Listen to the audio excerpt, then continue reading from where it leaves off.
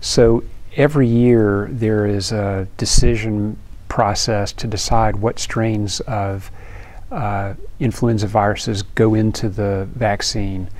Uh, for the northern hemisphere, this takes place in um, January, February timeframe. Uh, every year there is uh, an H1N1 strain, an H3N2 strain, and those are both influenza A viruses.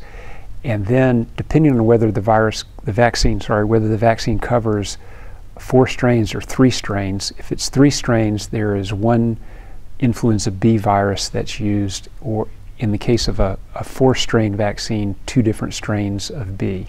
So that's a decision that's made every year. There's actually a, a decision um, in a few weeks that will be made for the southern hemisphere for their winter season, which is our next summer. So every year there's this process of updating the, um, the influenza vaccine to be uh, the vaccines that are projected to be most likely to be circulating that coming year. Um, I don't think there's anything especially unique. I think the one thing that's that's a little bit um, different is that some of the vaccines contain three strains and some contain four strains. And if you get the four strain vaccine, you're being covered for four for two B viruses. The three strain only one B virus.